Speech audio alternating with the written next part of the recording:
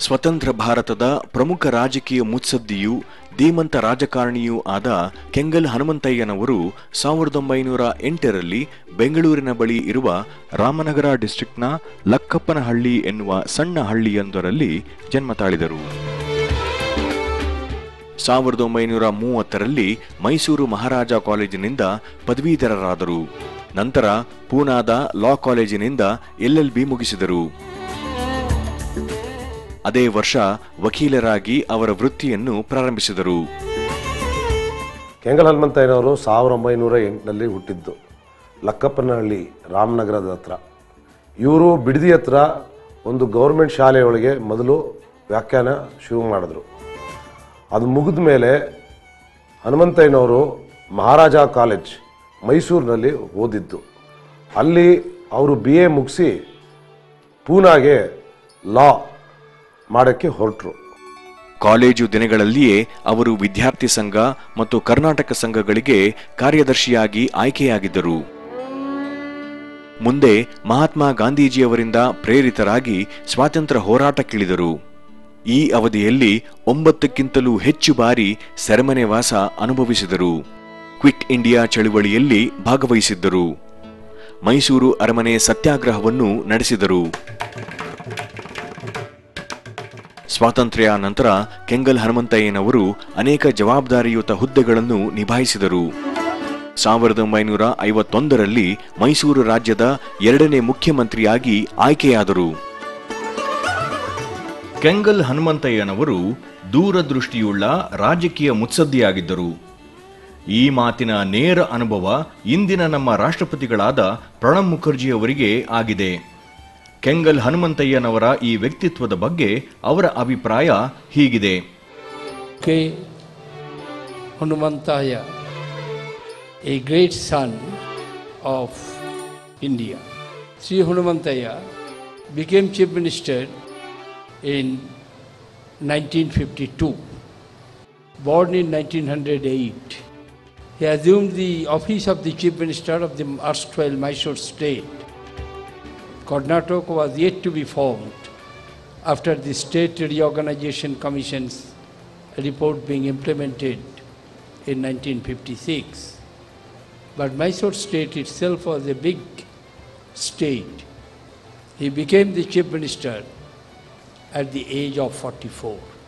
To assume the responsibility of running a state at the age of 44 speaks itself the merit of this great leader. Sri Hanumantaya led the state at a very crucial juncture when we became independent. Even the integration of the country did not take place fully. The task of the leaders at that point of time was to integrate. Thanks to the farsightedness of our leaders, like Sri Hanumantaya and many others, in the shortest possible time, without any suffering or dislocation in the lives of the common people, the integration of the states took place. When as first Chief Minister of erstwhile Mysore state, Sri Hanumantaya con- conceptualized and laid the foundation of this magnificent building, it is not merely to demonstrate the architectural beauty or the magnificence of the seat of governance. It symbolized the aspiration of the newly liberated people, what we want to achieve. We cannot compromise short of with the best. This Bilhan Saud speaks of that aspirations.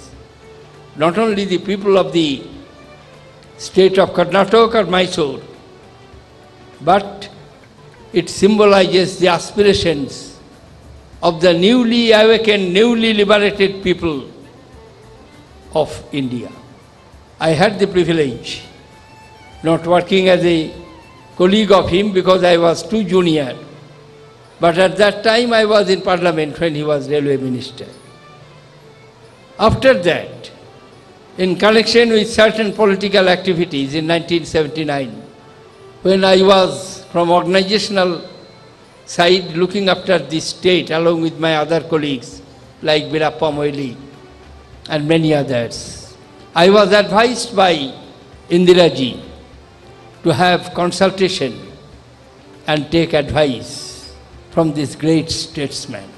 Several times I had the privilege of having interaction with him, but every time I came out after having interaction with him, my mind was quite clear that what are the approaches we should have. They had the vision, vision of India free from hunger, free from obscurity, free from fragmentation, free from all sorts of mediocrity, and India vibrant, looking ahead, taking its rightful place in the Committee of Nations. To my mind, the best homage to this great personality would be to work tirelessly to achieve that objective. ಜನರ ನಿಜವಾದ ನಾಯಕರಾಗಿದ್ದುಕೊಂಡು ರಾಜಕೀಯ ಹಸ್ತಕ್ಷೇಪವಿಲ್ಲದ ದಕ್ಷ ಆಡಳಿತವನ್ನು ನೀಡಿ ರಾಜ್ಯದ ಏಳಿಗೆಗೆ ಮತ್ತು ಗ್ರಾಮೀಣ ಜನರ ಉದ್ಧಾರಕ್ಕೆ ದುಡಿದರು ದೂರದೃಷ್ಟಿಯ ನಾಯಕರಾಗಿ ಅವರು ಅನೇಕ ಸಾಧನೆಗಳನ್ನು ಮಾಡಿದರು. ಈ ಲೋಕ್ಪಾಲ್ ವಿಧೇಯಕ ಅಂತ ಹೇಳಿಬಿಟ್ಟು ಇವತ್ತು ಪಾರ್ಲಿಮೆಂಟ್ನಲ್ಲಿ ಬಹಳ ಚರ್ಚೆಗಳಾದ ನಂತರ ಇವಾಗ ಪಾಸ್ ಮಾಡಿದ್ದಾರೆ. ಲೋಕಸಭಾ ಮತ್ತು ರಾಜ್ಯಸಭಾ ಎರಡರಲ್ಲೂ. ಅದಕ್ಕೆ ರಾಷ್ಟ್ರಪತಿಗಳೂ ಸಹ ಅವರು ಅನುಮೋದನೆ ಕೊಟ್ಟಿದ್ದಾರೆ. ಹೇಗಪ್ಪ ಇದು ಪ್ರಾರಂಭ ಆಯಿತು? ಇದು ಪ್ರಾರಂಭ ಆಗಿದ್ದು ಸರ್ವಪ್ರಥಮವಾಗಿ ನಮ್ಮ ಮೊದಲನೇ ಅಡ್ಮಿನಿಸ್ಟ್ರೇಟಿವ್ ರಿಫಾರ್ಮ್ಸ್ ಕಮಿಷನ್ನಲ್ಲಿ ಅದರಲ್ಲಿ ಚರ್ಚೆ ನಡೀತು. ಇಲ್ಲಿ ಬೇಕಾದಷ್ಟು ಭ್ರಷ್ಟಾಚಾರದ ಆರೋಪಣೆಗಳು ಬರ್ತಾ ಇವೆ. ಎಲ್ಲ ರಾಜ್ಯಗಳಿಂದ ಬರ್ತಾ ಇದೆ. ಅದನ್ನು ತಡಿಬೇಕು. ಭ್ರಷ್ಟಾಚಾರ ಮುಕ್ತವಾದಂಥ ಒಂದು ಸರ್ಕಾರ ತಂದರೆ ಸಮಾಜದಲ್ಲೂ ಭ್ರಷ್ಟಾಚಾರವನ್ನು ಮುಗಿಸೋದಕ್ಕೆ ಅನುಕೂಲ ಆಗುತ್ತೆ ಅಂತ ಇದನ್ನು ಈ ಓಂಬಡ್ಸ್ಮನ್ ಅಂತ ಕರೀತಾರೆ. ಇದು ಬೇರೆ ಈ ಡಚ್ ಕಂಟ್ರಿಗಳಲ್ಲಿ ಆ ಓಂಬಡ್ಸ್ಮನ್ ಪದ್ಧತಿ ಇದೆ. ಇದನ್ನು ತಿಳ್ಕೋಬೇಕು ಅಂತ ಹೇಳಿ ಕೆಂಗಲ್ ಹನುಮಂತಯ್ಯನವರು ಮುಂಚೆ ಅವರು ಡೆನ್ಮಾರ್ಕ್ಗೆ ಹೋದಾಗ, ನೀದರ್ಲೆಂಡ್ಸ್ಗೆ ಹೋದಾಗ ಇದ್ರ ಬಗ್ಗೆ ಕಾಫ್ ಬೇಕಾ ಅಧ್ಯಯನ ಮಾಡಿದ್ರು ತುಂಬ. ಸರ್ವಪ್ರಥಮವಾಗಿ ಪ್ರಥಮ ಅಡ್ಮಿನಿಸ್ಟ್ರೇಟಿವ್ ರಿಫಾರ್ಮ್ಸ್ ಕಮಿಷನ್ನಲ್ಲಿ ಕೆಂಗಲ್ ಹನುಮಂತಯ್ಯನವರು ಅದಕ್ಕೆ ಬಿತ್ತನೆ ಹಾಕಿದ್ದು ಅಂತ ನನ್ನ ಭಾವನೆ. ಕೆಂಗಲ್ ಹನುಮಂತಯ್ಯನವರ ವ್ಯಕ್ತಿತ್ವದಿಂದ ಅನೇಕರು ಪ್ರಭಾವಿತರಾಗಿದ್ದರು. ಇದಕ್ಕೆ ಅವರ ಮೊಮ್ಮಗನಾದ ಶ್ರೀಪಾದ ರೇಣು ಅವರು ಹೊರತಲ್ಲ. ಕೆಂಗಲ್ ಹನುಮಂತಯ್ಯನವರು ಮಾಡಿದ ಮತ್ತೊಂದು ಮಹತ್ ಕಾರ್ಯವೆಂದರೆ ಕರ್ನಾಟಕದ ಏಕೀಕರಣ ಮಾಡಿದ್ದು. ಕನ್ನಡ ಮಾತನಾಡುವ ಪ್ರದೇಶಗಳನ್ನು ಒಂದೇ ರಾಜ್ಯವಾಗಿಸುವಲ್ಲಿ ಅವರು ಪ್ರಮುಖ ಪಾತ್ರ ವಹಿಸಿದರು. ಭಾಷೆಯಾಧಾರಿತ ರಾಜ್ಯ ನಿರ್ಮಾಣವನ್ನು ಬೆಂಬಲಿಸಿ ಸಾವಿರದ ಒಂಬೈನೂರ ಐವತ್ತೈದರಲ್ಲಿ ಮೈಸೂರು ವಿಧಾಯಕ ಸಭೆಯಲ್ಲಿ ಅವರು ಮಾಡಿದ ಭಾಷಣವು ಐತಿಹಾಸಿಕವಾಗಿದೆ. ಮುಖ್ಯಮಂತ್ರಿಯ ಪದವಿಯನ್ನು ಕಳೆದುಕೊಳ್ಳಬೇಕಾದಂತಹ ಪರಿಸ್ಥಿತಿಯನ್ನು ಲೆಕ್ಕಿಸದೆ ವಿಶಾಲ ಕರ್ನಾಟಕವನ್ನು ನಿರ್ಮಾಣ ಮಾಡಿದರು. ಹನುಮಂತಯ್ಯನವ್ರಿಗೆ ಗೊತ್ತಿತ್ತು, ಏಕೀಕರಣ ಆದರೆ ತಾವು ಮುಖ್ಯಮಂತ್ರಿಯಾಗಿ ಮುಂದುವರಿಯುವುದಕ್ಕೆ ಸಾಧ್ಯವಾಗ್ತಾ ಇಲ್ಲ ಅಂತ ಹೇಳಿ. ಅವರಿಗೆ ಏಕೀಕರಣ ಒಂದು ಸಿದ್ಧಾಂತ. ಕನ್ನಡ ಮಾತನಾಡ್ತಕ್ಕಂಥ ಜನವೆಲ್ಲ ಒಂದು ಕಡೆ ಸೇರಬೇಕು, ಒಂದು ಪ್ರಾಂತ ಆಗಬೇಕು ಅನ್ನುವ ಒಂದು ಸಿದ್ಧಾಂತಕ್ಕೆ ಅವರು ಕಟ್ಟು ಬಿದ್ದಿದ್ದರು ಅವರು ಮುಖ್ಯಮಂತ್ರಿ ಪದವಿಯಿಂದ ಕೆಳಗೆ ಇಳಿಯುವ ಮುನ್ನ ಉತ್ತರ ಕರ್ನಾಟಕದ ಕೆಲವು ಭಾಗಗಳಿಗೆ ಅವರನ್ನು ಕರ್ಕೊಂಡೋಗಿ ಈ ಅಂಬ್ಲಿ ಹಳ್ಳಿ, ಕೇರಿ ಗುದ್ಲಪ್ಪ ಇವರುಗಳೆಲ್ಲ ಅವ್ರನ್ನ ಮೆರವಣಿಗೆ ಮಾಡಿ ಮೆರವಣಿಗೆ ಮಾಡಿ ಅವ್ರಿಗೆ ಜಾಸ್ತಿ ಹುಮ್ಮಸ್ಸನ್ನು ತಂದು ಕೊಡ್ತಾರೆ. ಹಾಗೆ ಎಲ್ಲೋ ಒಂದು ಕಡೆ ಅವ್ರು ಭಾಷಣ ಮಾಡಿದ್ರು. ನಾನಿಲ್ಲಿ ಕರ್ನಾಟಕದ ಕರ್ನಾಟಕದ ಏಕೀಕರಣಕ್ಕೆ ದಾಸ ನಾನು ಅಂತ ಭಾಷಣ ಮಾಡ್ತಾ ಇದ್ದೀನಿ. ಆದರೆ ನನ್ನನ್ನೇ ನೊಂಗುವ ತಿಮಿಂಗಿಲಗಳು ಅಲ್ಲಿ ಹಳೆಯ ಮೈಸೂರಿನಲ್ಲಿ ಹುಟ್ಕೊಂಡಿವೆ. ಆದರೆ ದಯವೇಚ್ಛೆ ಏನಾಗಬೇಕು ಅದಾಗಬೇಕು, ಆದರೆ ಕರ್ನಾಟಕ ಏಕೀಕರಣ ಆಗ್ತದೆ ಅಂತಕ್ಕಂಥ ಮಾತನ್ನು ಹೇಳಿದರು. ಆದ್ದರಿಂದ ಎಲ್ಲೋ ಒಂದು ಕಡೆ ಹನುಮಂತೇನವ್ರಿಗೆ ಆ ಸೂಕ್ಷ್ಮ ಗೊತ್ತಿತ್ತು. ಇದು ಏಕೀಕರಣದಿಂದ ತನ್ನ ಮುಖ್ಯಮಂತ್ರಿತನಕ್ಕೆ ಚ್ಯುತಿ ಬರ್ತದೆ ಅಂತೇಳಿ. ಕೆಂಗಲ್ ಹನುಮಂತಯ್ಯನವರಿಗೆ ಕನ್ನಡ ನಾಡು, ನುಡಿ, ಸಂಸ್ಕೃತಿಯ ಬಗ್ಗೆ ಅಪಾರವಾದ ಒಲವು, ಕಾಳಜಿಗಳು ಇದ್ದವು. ನಾಡಿನ ಸಂಸ್ಕೃತಿಯನ್ನು ಬೆಳೆಸಿ, ಉಳಿಸುವ ದೃಷ್ಟಿಯಿಂದ ಕನ್ನಡ ಸಂಸ್ಕೃತಿ ನಿರ್ದೇಶನಾಲಯ ಎಂಬ ಹೊಸ ಇಲಾಖೆಯನ್ನೇ ಹುಟ್ಟುಹಾಕಿದರು ಕನ್ನಡ ಸಾಹಿತ್ಯ ಪರಿಷತ್ತು, ಕನ್ನಡ ನಿಘಂಟು, ಕನ್ನಡ ವಿಶ್ವಕೋಶ ಮುಂತಾದ ಕಾರ್ಯಗಳಿಗೆ ಹೆಚ್ಚು ಪ್ರೋತ್ಸಾಹ ನೀಡಿದರು. ಅವರು ಒಬ್ಬ ಸಾಂಸ್ಕೃತಿಕ ಪ್ರತಿನಿಧಿಯಾಗಿದ್ದರು ಅಲ್ಲಿವರೆಗೆ ಸಾರಸ್ವತ ಲೋಕಕ್ಕೆ ಪ್ರಾತಿನಿಧ್ಯ ಅಂತ ಸಿಗ್ತಿರಲಿಲ್ಲ. ಸಂಸ್ಕೃತಿ ಇಲಾಖೆಯನ್ನು ಹುಟ್ಟುಹಾಕಿ ಅದಕ್ಕೊಬ್ಬ ಮಂತ್ರಿಯನ್ನು ಮಾಡಿ, ಅದಕ್ಕೆ ಕ್ಯಾಬಿನೆಟ್ ದರ್ಜೆಯ ಸ್ಟೇಟಸನ್ನು ಕೊಟ್ಟು ಕನ್ನಡದ ಅಭಿವೃದ್ಧಿಗೆ ಕರ್ನಾಟಕಕ್ಕೆ ಶಿಲಾನ್ಯಾಸ ಮಾಡಿದರು. ಅದೇ ಕಾಲಕ್ಕೆ ರಾಷ್ಟ್ರಕವಿ ಕುವೆಂಪು ಅವರು ವಿರಚಿದ ಬೃಹದ್ಗಂಥ ರಾಮಾಯಣ ದರ್ಶನ ಬರೀತಿದ್ದ ಕಾಲ. ಆಗ ಹನುಮಂತಯ್ಯನವರು ಜನಸಾಮಾನ್ಯರಿಗೆ ಒಂದು ರಾಮಾಯಣವನ್ನು ಕೊಡಿ, ಎರಡು ರೂಪಾಯಿ ಮುಖಬೆಲೆಯ ರಾಮಾಯಣವನ್ನು ಹನುಮಂತಯ್ಯನವರು ರಾಷ್ಟ್ರಕವಿ ಕುವೆಂಪು ಅವರಿಂದ ಬರೆಸಿದರು ರಾಷ್ಟ್ರಕವಿ ಕುವೆಂಪು ಅವರು ವಿಧಾನಸೌಧಕ್ಕೆ ಕರ್ಕೊಂಡ್ಬಂದು, ನಿಮ್ಮ ಕಲ್ಪನೆಯ ಎಲ್ಲವನ್ನು ಇಲ್ಲಿ ಪ್ರತಿಷ್ಠಾಪಿಸಲು ಪ್ರಯತ್ನಿಸಿದ್ದೇನೆ, ನಿಮಗೆ ಸಂತೋಷವಾಗಬಹುದು ಅಂತ ಕೇಳಿದರು. ಪುಟ್ಟಪ್ಪನವ್ರ ನಕ್ಕು, ಅದ್ಭುತ ಕೆಲಸ ಮಾಡಿದ್ದೀರಿ ಎನ್ನುವಂಥ ಮಾತನ್ನು ಹೇಳಿದರು. ಸೊ ಹೀಗೆ ಅದ್ಭುತ ಪ್ರತಿಗಳ, ಪ್ರತಿಭೆಗಳನ್ನು ಗುರುತಿಸೋದು ಮತ್ತು ಅವರಿಗೆ ಸನ್ಮಾನ, ಸತ್ಕಾರ್ಯಗಳನ್ನು ಮಾಡುವ ಕೆಲಸದಲ್ಲಿ, ಸಂಸ್ಕಾರದ ಕೆಲಸಗಳನ್ನು ಮಾಡುವ ಸಮಯದಲ್ಲಿ, ಸಂಸ್ಕೃತಿಯ ಕೆಲಸವನ್ನು ಮಾಡೋದರಲ್ಲಿ ಬಹಳ ಮುಂದಾಗಿದ್ದರು. ಅನೇಕ ಗ್ರಾಮಗಳಲ್ಲಿ ನೀವು ಇವತ್ತು ಹೋಗಿ ನೋಡ್ಬೋದು. ಸಂಸ್ಕೃತಿ ಪ್ರಚಾರ ಮಂದಿರಗಳು ಅಂತಿವೆ. ಅವು ಹನುಮಂತಯ್ಯನವ್ರ ಕಾಲದಲ್ಲಿ ಆರಂಭ ಆದವು. ಆಮೇಲೆ ಆ ಸಂಸ್ಕೃತಿ ಪ್ರಚಾರಕ್ಕಾಗಿ ಬೇರೆ ಯಾರು ವಿಶೇಷ ಆಸಕ್ತಿಯನ್ನು ವಹಿಸಲೇ ಇಲ್ಲ. ಇತ್ತೀಚೆಗೆ ಈ ಸಂಸ್ಕೃತಿ ಪ್ರಚಾರಕ್ಕೆ ಸ್ವಲ್ಪ ಹೆಚ್ಚು ಪ್ರಚಾರ ಸಿಕ್ಕಿದೆ. ಆದರೆ ಅದರ ಸೃಷ್ಟಿಯಾದದ್ದು ಹನುಮಂತಯ್ಯನವರ ಕಾಲದಲ್ಲಿ ಅನ್ನೋದನ್ನು ನಾವು ನೆನಪಿಸಿಕೊಳ್ಬೇಕು ಬಹಳ ಮತ್ತೊಂದು ಮಹತ್ತರವಾದಂಥ, ವಿಶೇಷವಾದಂಥ ಇದು ಅಂತ ಹೇಳಿದರೆ, ಸ್ವಾತಂತ್ರ್ಯ ಹೋರಾಟಗಾರರನ್ನು ನೆನೆಸಿಕೊಳ್ಳೋದಕ್ಕಾಗಿ ಅಲ್ಲಲ್ಲಿ ಅಲ್ಲಲ್ಲಿ ನೀವು ಮಂಡ್ಯದಲ್ಲಿ ಒಂದು ವೀರಸೌಧ ಇದೆ. ಬೆಂಗಳೂರಿನಲ್ಲಿ ಒಂದು ವೀರಸೌಧ ಕಟ್ಟುವುದಕ್ಕೆ ಪ್ರಯತ್ನ ಮಾಡಿದರು. ಹಾಗೆಯೇ ಕೋಲಾರದಲ್ಲಿ ವೀರಸೌಧ ನೆನಪು, ಸ್ವಾತಂತ್ರ್ಯ ಹೋರಾಟಗಾರರ ನೆನಪನ್ನು ಉಳಿಸೋದಕ್ಕೆ ಪ್ರಯತ್ನ ಮಾಡಿದರು. ಹೀಗೆ ವಿವಿಧ ಮುಖಗಳಿದ್ದ ಹನುಮಂತಯ್ಯನವರಿಗೆ ಭಾಷೆಯ ಮೇಲಿದ್ದಂಥ ಪ್ರೇಮ ಎಷ್ಟು ಅಂದರೆ, ಮುಂದೆ ಅವರು ಮುಖ್ಯಮಂತ್ರಿ ಆಗಿದ್ದ ಸಮಯದಲ್ಲಿ ವಿಶಾಲ ಕರ್ನಾಟಕವನ್ನು ಮಾಡಬೇಕು ಅನ್ನುವಂಥ ಬೇಡಿಕೆ ಬಂದಾಗ ನಿಸ್ಸಂಶಯವಾಗಿ ಪ್ರಾಂಜಲ ಮನಸ್ಸಿನಿಂದ ತಾನೇ ಮುಖ್ಯಮಂತ್ರಿಯಾಗಿ ತನ್ನ ಅಧಿಕಾರ ಹೋಗ್ತದೆ ಅನ್ನೋದು ಗೊತ್ತಿದ್ದರೂ ಕೂಡ ಅವರು ಒಂದು ಥರಾವನ್ನು ವಿಧಾ ವಿಧಾನಸಭೆಯಲ್ಲಿ ಮಂಡಿಸಿ ಕನ್ನಡಿಗರೆಲ್ಲ ಒಂದು ಆಡಳಿತ ಪ್ರದೇಶದಲ್ಲಿ ಇರಬೇಕು ಅಂತಕ್ಕಂಥ ಚರಿತ್ರಾರ್ಹವಾದಂಥ ಒಂದು ತೀರ್ಪನ್ನು ಬರೆದರು. ಸಾವಿರದ ಒಂಬೈನೂರ ಅರವತ್ತೆರಡರಿಂದ ಸಾವಿರದ ಒಂಬೈನೂರ ಎಪ್ಪತ್ತೇಳರವರೆಗೆ ಬೆಂಗಳೂರು ನಗರದ ಎಂಪಿಯಾಗಿ ಚುನಾಯಿತರಾಗಿದ್ದರು. ಕೇಂದ್ರ ಸರ್ಕಾರದಲ್ಲಿ ಕ್ಯಾಬಿನೆಟ್ ಮಂತ್ರಿಯಾಗಿ ರೈಲ್ವೆ ಕೈಗಾರಿಕೆ ಮುಂತಾದ ಇಲಾಖೆಗಳನ್ನು ದಕ್ಷವಾಗಿ ನಿರ್ವಹಿಸಿದರು. ಅಂದಿನ ಪ್ರಸಿದ್ಧ ರಾಷ್ಟ್ರ ನಾಯಕರೊಂದಿಗೆ ನಿಕಟ ಸ್ನೇಹವನ್ನು ಹೊಂದಿದ್ದರು. ಅವರ ರಾಜಕೀಯ ಕಾರ್ಯಾವಧಿಯಲ್ಲಿ ಪ್ರಾಮಾಣಿಕ ದಕ್ಷ ಆಡಳಿತವನ್ನು ನೀಡಿದರು.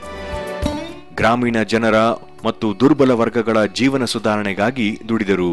ಬೆಂಗಳೂರಿನ ಅಭಿವೃದ್ಧಿಯಲ್ಲಿ ಅವರ ಕೊಡುಗೆ ಅಪಾರವಾದದ್ದು. ಅವರು ಕೇಂದ್ರ ಸರ್ಕಾರದಲ್ಲಿ ರೈಲ್ವೆ ಖಾತೆ ಸಚಿವರಾಗಿದ್ದರು. ರೈಲ್ವೆ ಖಾತೆ ಸಚಿವರಾಗಿದ್ದಾಗ ನಾನು ಅವರಿಗೆ ವಿಶೇಷ ಅಧಿಕಾರಿ ಮತ್ತು ನಿಜಿ ಸಚಿವನಾಗಿದ್ದೆ. ಅವರ ಕಾಲದಲ್ಲಿ ರೈಲ್ವೆ ವಿಭಾಗದ್ದು ಮೈಸೂರು ಮತ್ತು ಬೆಂಗಳೂರು ನಗರ. ಅದಕ್ಕೆ ಮಧ್ಯೆ ರೈಲು ಚಾಲನೆ ಮಾಡೋದಕ್ಕೆ ಮೊದಲನೇ ಆಡಳಿತದ ಒಂದು ನಿರ್ಣಯ. ನಂತರ ಬೆಂಗಳೂರು ಮತ್ತು ಈ ಈ ಗುಂತಕಲ್ಗೆ ಹೋಗೋದು ಬ್ರಾಡ್ಗೇಡ್ ಮಾಡ್ತಕ್ಕಂಥ ಒಂದು ನಿರ್ಣಯ ಅವ್ರು ಮಾಡಿದರು ರೈಲ್ವೆ ಮಂತ್ರಿಗಳಾಗಿ. ನಂತರ ಅವರು ರೈಲ್ವೆ ಮಂತ್ರಿಗಳಾಗಿ ಸರ್ವಪ್ರಥಮವಾಗಿ ಒಂದು ನಿರ್ಣಯ ತಗೊಂಡ್ರು. ಈ ದೇಶದಲ್ಲಿ ಮೀಟರ್ ಗೇಜು, ಬ್ರಾಡ್ ಗೇಜು ಇತ್ಯಾದಿಗಳು ಮೂರು ಮೂರು ಥರ ಗೇಜುಗಳಿವೆ.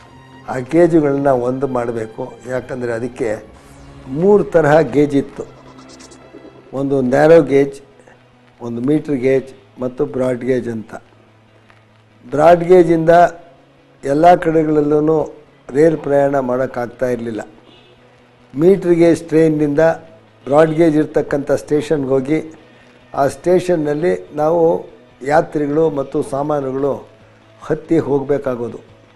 ಅದನ್ನು ನಿವಾರಣೆ ಮಾಡಿದರೆ ಸಮಯ ಉಳಿಯುತ್ತೆ. ಎಲ್ಲ ಗೇಜನ್ನು ಒಂದೇ ಸಿಸ್ಟಮ್ ಮಾಡಬೇಕು ಅಂತ ಹೇಳಿ ಪ್ರಥಮವಾಗಿ ಈ ದೇಶದಲ್ಲಿ ಪ್ರಾರಂಭ ಮಾಡೋದಕ್ಕೆ ನಿರ್ಣಯ ತಗೊಂಡವರೇ ಕೆಂಗಲ್ ಹನುಮಂತಯ್ಯನವರು ಇಂದಿರಾ ಗಾಂಧಿಯವರು ಪ್ರಧಾನಮಂತ್ರಿ ಆಗಿದ್ದರು. ಅವರು ತಿರುಪತಿಗೆ ಬರುವ ಕಾರ್ಯಕ್ರಮ ಇತ್ತು. ನಾನು ಆಗ ಸಂಸತ್ತಿನ ಸದಸ್ಯನಾಗಿದ್ದೆ. ಅವರು ಬರೋದಕ್ಕಿಂತ ಮುಂಚೆ, ಪ್ರಧಾನಮಂತ್ರಿ ಬರೋದಕ್ಕಿಂತ ಮುಂಚೆ ಸಂಬಂಧಪಟ್ಟ ಯಾರಾದರೂ ಒಬ್ಬರು ಮಂತ್ರಿ, ಮೂರು ದಿವಸ ಮುಂಚೆ ಬರೋರು ಮಿನಿಸ್ಟರ್ ಇನ್ ದಿ ಸ್ಟ್ಯಾಂಡಿಂಗ್ ಅಂತ ಹೇಳೋರು ಅವರಿಗೆ. ನನ್ನನ್ನು ಜೊತೆ ಕರ್ಕೊಂಡು ಮದ್ರಾಸಿಗೆ ಬಂದ್ವಿ. ಅಲ್ಲಿಂದ ತಿರುಪತಿಗೆ ರೈಲಿನಲ್ಲಿ ಪ್ರಯಾಣ ಮಾಡ್ತಾ ಇದ್ದೆ. ರೈಲ್ವೆ ಮಂತ್ರಿಗಳಿಗೆ ಒಂದು ಸಲೂನ್ ಇತ್ತು. ಅದರಲ್ಲಿ ಎರಡು ಕೊಠಡಿಗಳಿರ್ತಿತ್ತು ಒಂದರಲ್ಲಿ ನಾನಿದ್ದೆ, ಒಂದರಲ್ಲಿ ಅವರಿದ್ದರು. ನನಗೆ ಆಶ್ಚರ್ಯ ಆದದ್ದು ರೈಲಿನಲ್ಲಿ ಪ್ರಯಾಣ ಮಾಡುವಾಗ ಕೂಡ ಹದಿನಾರು ಗಂಟೆಗಳಷ್ಟು ಕೆಲಸ ಮಾಡಿದರು. ಆಗ ದಕ್ಷಿಣ ಭಾರತದಕ್ಕೆ ಒಬ್ಬ ಮುಖ್ಯ ಚೀಫ್ ಇಂಜಿನಿಯರ್ ಇದ್ದಿದ್ದರು ಸೌತ್ ಝೋನ್ ಅಂತ ಹೇಳಿ ಅದಕ್ಕೆ ಅವ್ರನ್ನ ಕರೆಸಿದರು. ಸಲೂನ್ನಲ್ಲಿ ಪ್ರಯಾಣ ಮಾಡ್ತಾ ಇದ್ವು. ಒಂದು ಸಂದರ್ಭದಲ್ಲಿ ಅವರು ಪ್ರಶ್ನೆ ಕೇಳಿದರು what is the amount of privilege rather, ಸೋರಿಕೆ, ರೈಲ್ವೆ ಸೋರಿಕೆ ಇತ್ತಲ್ಲ, ಎಷ್ಟಿದೆ ಅಂತೇಳಿ. ಮುಖ್ಯ ಇಂಜಿನಿಯರು ಶೇಕಡ ಹನ್ನೆರಡರಷ್ಟು ಅಂತೇಳಿ ಪಟಪಟನೆ ಇಪ್ಪತ್ತು ನಿಮಿಷಗಳ ಕಾಲ ವಿವರಿಸಿದರು ಅದನ್ನು. Twelve percent is the fill price in the railway southern railways ಅಂತ. ತಟಕ್ಕನೆ ರೈಲ್ವೆ ಮಂತ್ರಿ ಆಗಿ ಧನ್ವಂತಯ್ಯನವರು why should I keep you under suspension ಅಂತಂದರು? ನನಗೆ ಅತ್ಯಂತ ಆಶ್ಚರ್ಯವಾಯಿತು ಇಷ್ಟು ಸೊಗಸಾಗಿ ಉತ್ತರ ಹೇಳಿದ್ದಾರೆ. ನಾನು ಆಗ ಅವ್ರಿಗೊಂದು ಮಾತು ಕೇಳಿದೆ. ಇಷ್ಟೊಂದು ಸೊಗಸಾಗಿ ಉತ್ತರ ಹೇಳಿದ್ದಾರೆ. ಮುಖ್ಯ ಇಂಜಿನಿಯರ್ನ ಯಾಕೆ ನೀವು ಅಮಾನತ್ನಲ್ಲಿ ಇಡಬೇಕು ಅನ್ನುವಂಥದ್ದನ್ನು ಪ್ರ, ಹೇಳಿದ್ರಿ ಅಂತ. ಬಹಳ ಸಂತೋಷಪಟ್ಟರು ಈ ಪ್ರಶ್ನೆಯನ್ನು ನೀವು ಮೊದಲೇ ಕೇಳಬೇಕಾಗಿತ್ತು. ಈಗಲಾದರೂ ಕೇಳಿದ್ದೀರಿ ಸಂತೋಷ? ಮುಂದೆ ರಾಜ್ಯವನ್ನು, ರಾಷ್ಟ್ರವನ್ನು ಆಳುವ ಸೇನಾನಿಗಳು ನೀವು. ನಿಮಗೆ ಇವೆಲ್ಲ ಗೊತ್ತಿರಬೇಕು. ಬಹಳ ಪ್ರಾಮುಖ್ಯವಾಗಿ ಆಡಳಿತದಲ್ಲಿ ಒಂದು ವಿಚಾರವನ್ನು ನೆನಪಿಟ್ಕೊಳ್ಳಿ. ಅದು ಯಾವ ಅಧಿಕಾರಿಯನ್ನು ನಿಮಗೆ ವಿಷಯ ತಿಳಿಯಿದೆ ಅವನು ಪ್ರಶ್ನೆ ಮಾಡಬೇಡಿ. ನಿಮ್ಮ ವಿಚಾರದ ಪೂರ್ಣ ಪರಿಜ್ಞಾನ ಇದ್ದರೆ ಮಾತ್ರ ಪ್ರಶ್ನೆ ಕೇಳಿದ್ರೆ ಕೇಳಬೇಡಿ. ಕೇಳಿದ ಮೇಲೆ ನೀವೊಂದು ನಿರ್ಣಯಕ್ಕೆ ಬನ್ನಿ. ಆ ನಿರ್ಣಯದಿಂದ ವಾಪಸ್ ಹೋಗಬೇಡಿ. ನಾನು ಮಾಡಿದ್ದು ಅಷ್ಟೇನೆ ಅಂದರು. ಏನು ಸಾರ್ ಅಂದೆ? ಶೆಟ್ಟಿ ಅಂತ ಶೆಟ್ಟರು ಅಂತ ಒಬ್ಬರಿದ್ದರು ಅವ್ರನ್ನ ಕರೆದು ತಮ್ಮ ರಿಪೋರ್ಟ್ ಕೊಡಿ ಅಂದರು. ಅವ್ರು ತರಿಸ್ಕೊಂಡಿರೋ ರಿಪೋರ್ಟ್ನಲ್ಲಿ ಶೇಕಡ ಮೂವತ್ತೆರಡರಷ್ಟಿತ್ತು. ಹನ್ನೆರಡಕ್ಕೂ ಮೂವತ್ತೆರಡಕ್ಕೂ ಇಪ್ಪತ್ತು ಪರ್ಸೆಂಟ್ ವ್ಯತ್ಯಾಸ ಇದೆ. ನೋಡಿ ಅಧಿಕಾರಿಗಳು ಯಾವ ರೀತಿ ಸುಳ್ಳು ಹೇಳಿ ಬಚಾವಾಗ್ತಾರೆ ದಿವಂಗತ ಕೆಂಗಲ್ ಹನುಮಂತಯ್ಯನವರ ಜಯಂತಿಯನ್ನು ಫೆಬ್ರವರಿ ಹತ್ತರಂದು ಆಚರಿಸಲಾಗುತ್ತದೆ. ಒಬ್ಬ ಧೀಮಂತ ನಾಯಕ, ಆ ನಾಯಕನ ಕನಸುಗಳು ಮತ್ತು ನಾಡಿಗಾಗಿ ಕನಸು ಕಂಡದ್ದನ್ನು ಸಾಧನೆಗೈದ ಒಂದು ಅತ್ಯುತ್ತಮ ನಿದರ್ಶನವೇ ಶ್ರೀ ಕೆಂಗಲ್ ಹನುಮಂತಯ್ಯನವರ ಯಶಸ್ಸಿನ ಯಾತ್ರೆ. ಇತಿಹಾಸವನ್ನು ಬದಲಿಸಿದ ಅವರ ಮಹತ್ ಸಾಧನೆಗಳು ಎಲ್ಲರಿಗೂ ಸ್ಫೂರ್ತಿದಾಯಕ. ಇಂತಹ ನಾಯಕರು ಹೆಚ್ಚು ಹೆಚ್ಚಾಗಿ ಕರ್ನಾಟಕದ ಜನತೆಗೆ ದೊರಕುವಂತಾಗಬೇಕು. ಇದರಿಂದ ರಾಜ್ಯದ ಅಭಿವೃದ್ಧಿಯಾಗಬೇಕು ಎಂಬುದು ಜನರ ಆಶಯ. ಹಾಗೂ ಕೆಂಗಲ್ ಹನುಮಂತಯ್ಯನವರನ್ನು ನೆನೆಸಿಕೊಳ್ಳುವುದು ಕರ್ನಾಟಕ ರಾಜ್ಯದ ಜನತೆಯ ಕರ್ತವ್ಯ ಕೂಡ ಹೌದು.